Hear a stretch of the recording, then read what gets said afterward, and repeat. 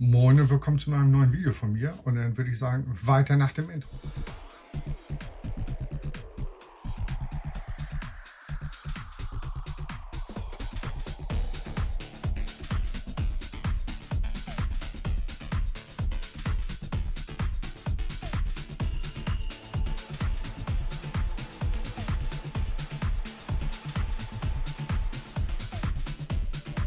Ich werde jetzt nach und nach alle so meine Produkte vorstellen, die ich persönlich nutze, um meine Videos zu machen oder ähnliches. Also sprich für Drohnenflüge oder was dazugehört. In diesem Video stelle ich euch alles vor, was ich so von GoPro habe. Klar, gibt es sicherlich auch bessere Systeme, es gibt auch schlechtere Systeme. Für mich reicht das vollkommen aus. Ich habe zwei Kameras von GoPro. Die erste ist die GoPro Max. Hat zwei Akkus dabei, hat auch diesen, um das doppelt zu laden. Das finde ich auch sehr, sehr gut.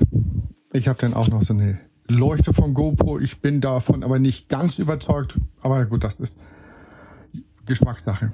Also ich bin davon begeistert. Es reicht auch für 10 Meter Tauchen. In dieser Tasche sind in diese Linsen.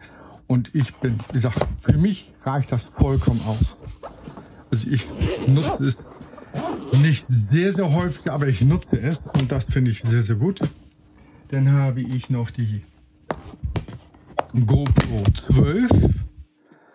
Dazu nutze ich na klar auch äh, den äh, Lens Mode, aber das ist eins, das reicht für mich auch vollkommen aus. Habe drei Akkus dabei und in diesem, wo ich zwei gleichzeitig laden kann. Nutze auch dazu den Medimod, Mob, Mod, damit ich auch eine bessere Audioqualität habe. Aber hier kann ich na klar auch noch externe Mikrofone anschließen. Und hier habe ich na klar auch dann den USB-Anschluss, USB-C-Anschluss. Also dann kann ich auch zur Not zwischendurch laden. Dann habe ich na klar auch für die Brust, ist bis jetzt nur zweimal vorgekommen, ist aber sehr, sehr gut von der Qualität, also mein persönlicher Eindruck. Das ist ein Saugnapf, den habe ich jetzt schon zweimal genutzt, zwei oder dreimal. Der ist sehr, sehr gut, also für mich. Und ja, habe den auch während der Fahrt schon benutzt, auf dem Dach. Und was soll ich sagen? 85 km hat es gehalten. Also äh, hier ist auch noch nichts weiter runtergefallen. Dann für Motorrad oder Fahrrad, ja, habe ich äh, zwei, dreimal ausprobiert.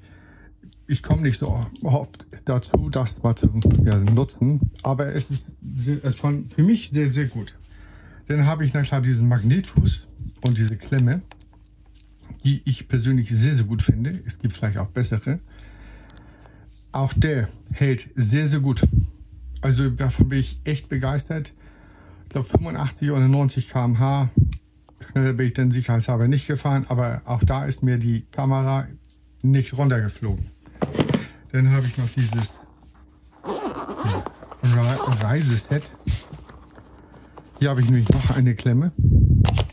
Hier ist noch der Fuß noch dabei, aber den habe ich noch nie benutzt